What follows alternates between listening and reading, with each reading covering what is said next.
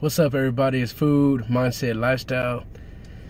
it's 20 days into 2021. The first week was cool. The second week was alright. Now the third week, man, is for some reason. This week has been not just me. A lot of people's been having it rough. But we're gonna overcome this. I hope and stay steady and stay strong.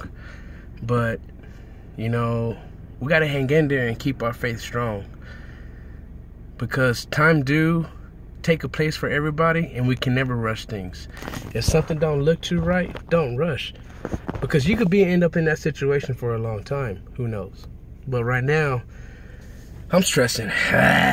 But something will work out. You got to keep going keep striving keep pushing and pray and have faith.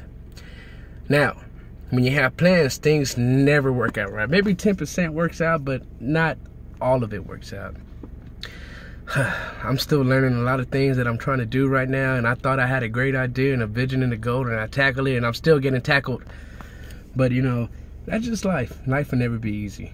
So you know, we we got to be thankful and love what we have every single day because you never know that could be gone, or better yet, I cannot wake up tomorrow. So you know, we got to live for today and try not to live for tomorrow, or better yet, live for today and plan for tomorrow. That's what I should say. You have a great day. Uh, thank you for tuning in. You know, putting in these one minute videos, but I'm gonna bring some more food videos pretty soon. You have a great day. Peace.